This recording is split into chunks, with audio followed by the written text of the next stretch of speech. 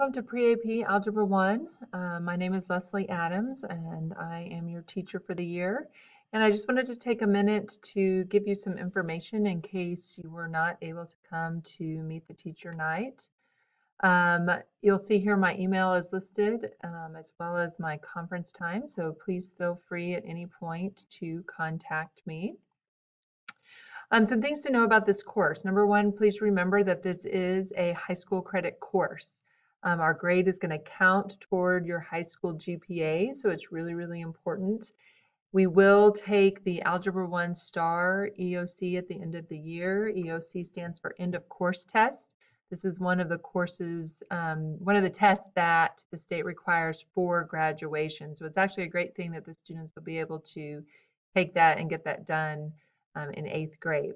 Please remember too that because this is high school credit, if a student does not pass any semester, I mean each semester is individual. Um, if they do not pass that semester, they will have to retake that course in summer school, just that semester. Um, we definitely don't want that to happen, and we're going to do everything we can to keep that from happening. Um, but please keep that in mind because this is high school credit. I also know that there's quite a few students that have um, were not in seventh grade pre-AP math last year, and that is perfectly fine. I just want you to be aware of that they are skipping a year of math by jumping from seventh grade regular to algebra one. And so there might be a little bit of gaps that we need to fill them in on and catch them up on. So if at any point you feel like they're struggling, please encourage them to come in and get help um, during tutoring or lunches or advisory if needed. I want to make you aware about homework. We have homework just about every single night. Um, my calendar is on Canvas and on the website, so you can go to the Young website and you can see the calendar and see the assignments listed in case you're not sure or your student is not sure. Um, I do grade homework on completion, but it also must be graded correctly. We grade our homework in class the students must write down the correct answers and they must identify their mistakes. And this is very, very important to me. I don't want a student coming home with a paper and, and problems marked wrong and they have no idea why they've missed it or why they've gotten wrong. So part of this process is looking and recognizing their mistakes. And there's actually a lot to learn from being able to recognize the mistakes. I always take questions on the homework too, and we go over it. So if they are not able to identify their mistakes on their own, we can do it together. Uh, tutoring is every morning at 8.15 unless I have a meeting and I try to let the kids know or send out a remind. Um, you do not have to have appointment or ask. They just have to check in in the office. We also have lunchies that they can attend tutoring.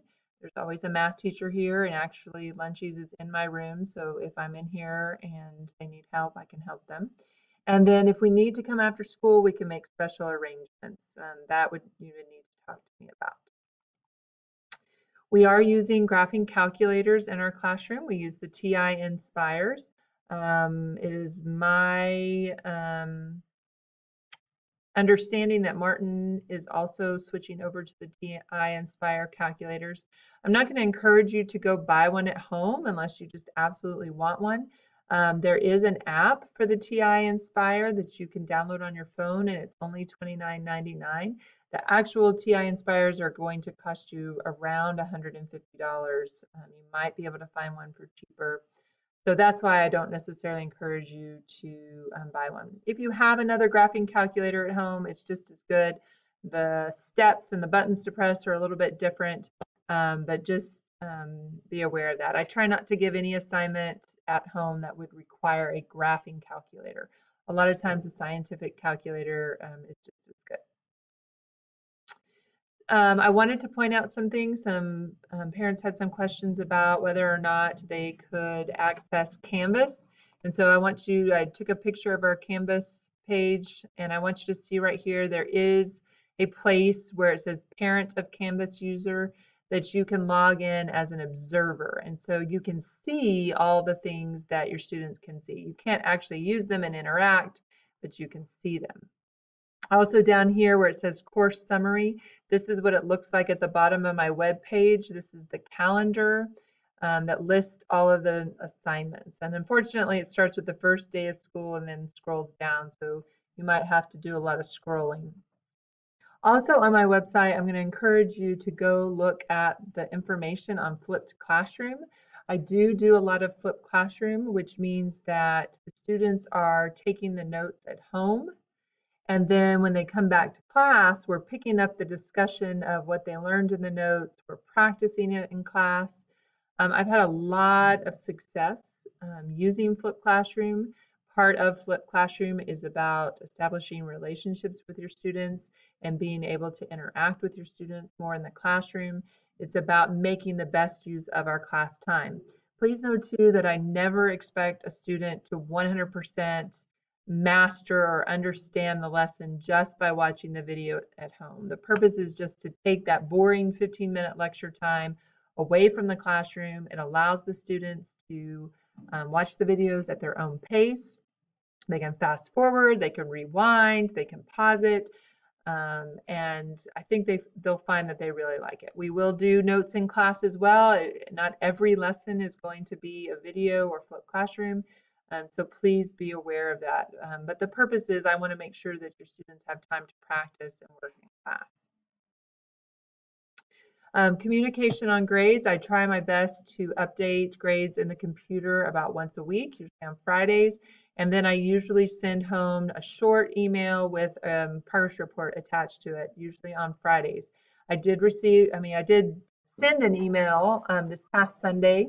And so if you did not receive that email, if you would please contact Connie Clark and have her check your email address um, so that we can make sure you're receiving those.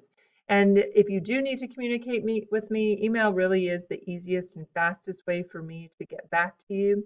If you would prefer a phone call, then sometimes too just an email saying, please give me a call at your earliest convenience.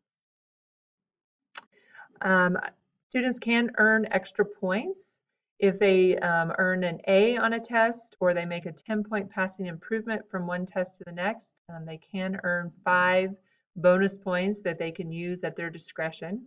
We also will be having weekly reviews starting in a couple of weeks. Um, this will spiral the material that we learn so that we're continually reviewing it throughout the year. And they can earn extra credit points off those weekly reviews.